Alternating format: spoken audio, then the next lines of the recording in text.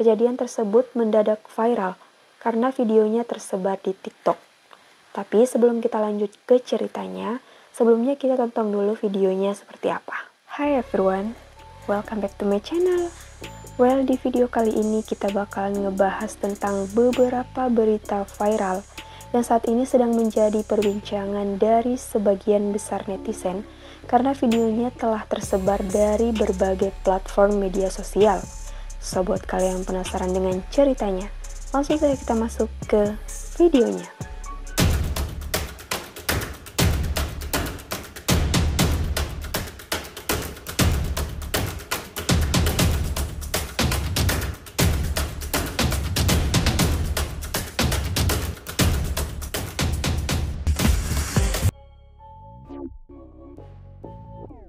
Kelakuan dari seorang pria yang berinisial AD yang berasal dari Kabupaten Goa, Sulawesi Selatan membuat warga menjadi geleng-geleng kepala.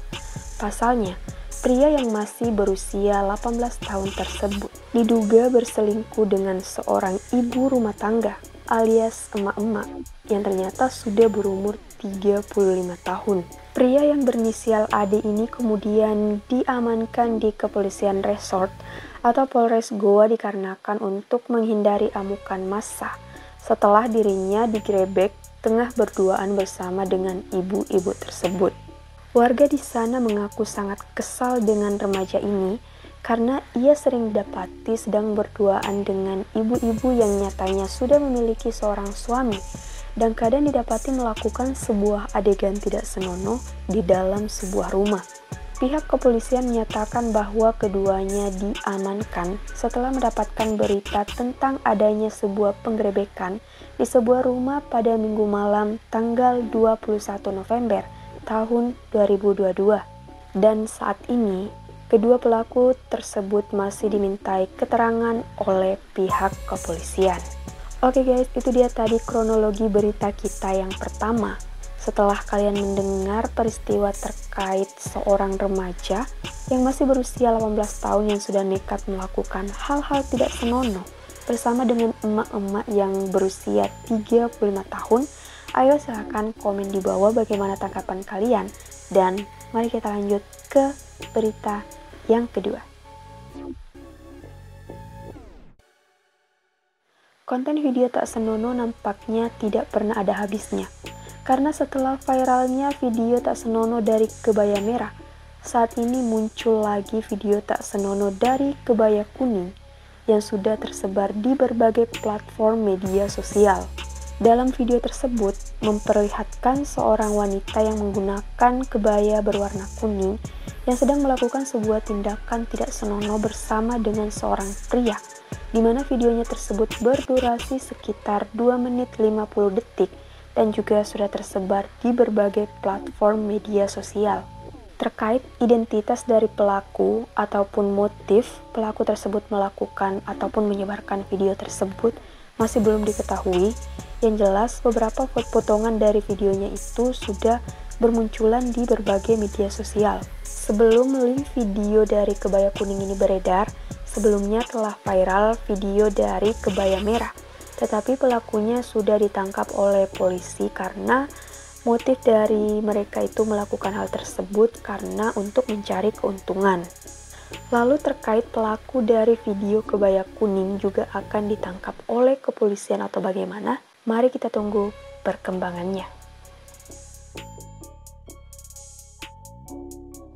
Sepasang pelajar yang sedang berada di dalam sebuah toilet digerebek oleh beberapa warga di desa atau kecamatan Karangrejo, Kabupaten Tulungagung. Kejadian tersebut mendadak viral karena videonya tersebar di TikTok. Tapi sebelum kita lanjut ke ceritanya, sebelumnya kita tonton dulu videonya seperti apa.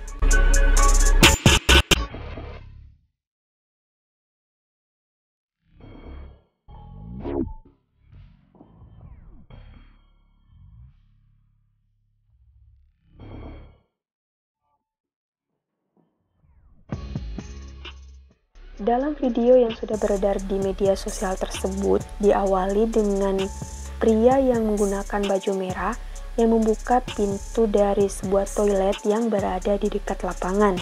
Kemudian dari dalam toilet nampak terlihat seorang pria keluar dari toilet tersebut dengan menggunakan hoodie berwarna hitam sambil menutup muka karena perasaan malu. Setelah beberapa saat, wanita yang ada di dalam toilet tersebut juga ingin keluar, tetapi karena melihat orang yang ada di depan toilet tersebut ada yang ia kenali, ia memutuskan untuk tetap tinggal di dalam toilet tersebut dan menutup pintu toiletnya. Setelah mengetahui berita tersebut, Kapolsek Karangrejo kemudian menelusuri tempat kejadian dari video tersebut. Warga setempat bersepakat untuk memanggil orang tua dari kedua remaja tersebut dan menyelesaikan masalah itu dengan cara musyawarah dan memberikan sanksi ataupun teguran kepada kedua remaja tersebut agar hal tersebut tidak terulang kembali. Oke guys, itu dia tadi tiga kronologi dari berita viral kali ini. Dan setelah kalian mendengar ketiga beritanya, bagaimana tanggapan kalian? Silahkan komen di bawah dan jika kalian suka video kali ini jangan lupa untuk menekan tombol like, comment, share, and subscribe and see you the next video.